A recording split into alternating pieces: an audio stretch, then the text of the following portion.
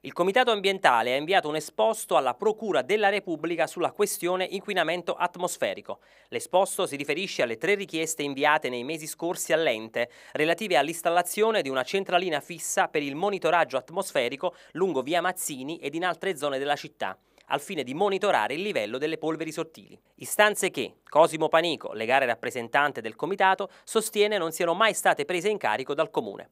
Di qui l'esposto alla Procura affinché si chiariscano gli aspetti della vicenda e si verifichino eventuali omissioni da parte dell'ente.